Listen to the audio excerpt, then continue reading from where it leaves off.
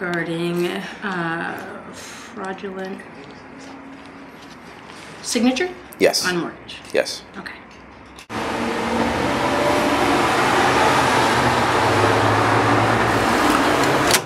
Hi, how are Hi, good. you? How are you? Good, good. Happy Chris, New Year. yeah, same to you. Thank you. You've been here before. Yes, indeed. And I, the nature of my call is still the same. Okay. It's been eight years now since someone forged my name to a mortgage.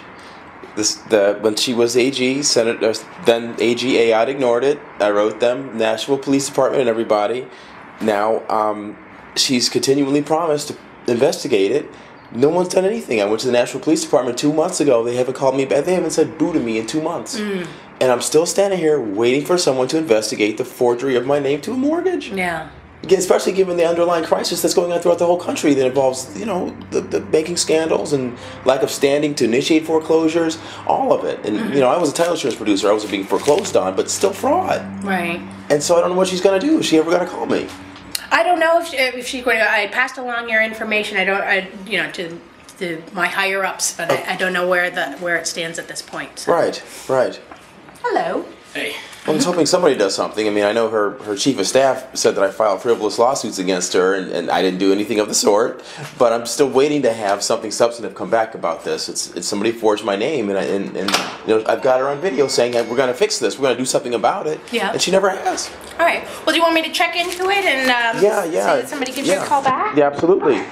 That would be uh, much appreciated. Uh, you made my card from last time. I don't think I brought any this time, but uh, I might have put it with the other other things. So why information. don't I why don't I write it down? Where's my name? okay.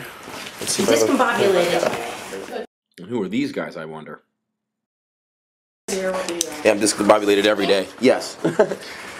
And what is the best phone number to reach you at? uh, 617 Six one seven 543 five four three 8085.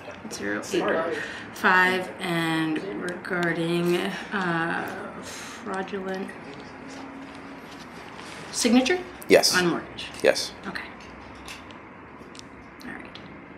I will pass it along and uh, ask somebody to gives you a call back. I appreciate it. Thanks so much. Thank you. Have a good day. As well. And then what's your name? My name is Lara. Laura Chris, obviously. Nice All to meet you. Nice to meet you too. Do you want a mint? Oh, have a minute. Sure, what the heck. the way I can never say that Kelly never gave me anything. Well, that's that's that's for me. That's for my own. Uh, Oh, that's from your my own own stash. private stash. So you're welcome to. All right. Take care. Happy New Year. Thank you. Thank you.